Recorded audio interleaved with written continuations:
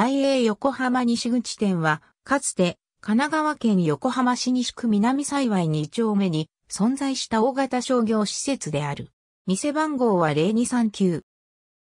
ネットスーパー取扱店舗。横浜駅西口の繁華街の一角に存在していた。首都圏レインボー作戦の一環で誕生した大英の代表店舗で1968年に開業した参考の店舗を増築し1972年4月にオープンした。開業当初の来店客は目標の7万人より2割ほど上回った。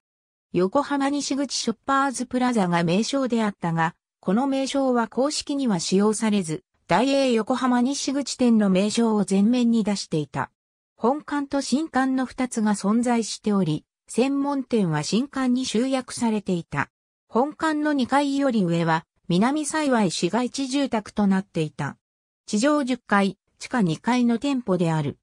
2001年には、若者が多い実地性を考慮し、斬新なイメージを打ち出すため、新しい広告塔の背景を白から黒に変更した。この背景の変更は、横浜西口店が初めて、2005年にロゴマークが一新されたことに伴い、消滅した。2019年2月11日をもって完全閉店となり、47年間の営業を終了した。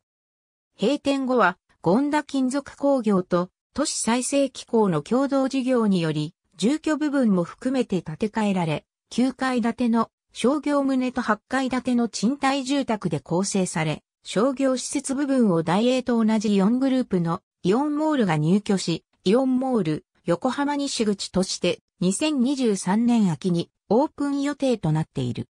2011年3月11日午後2時46分に発生した東北地方太平洋沖地震による影響で、同店の周りの歩道で数々の地割れが発生し、営業を一時見合わせていた。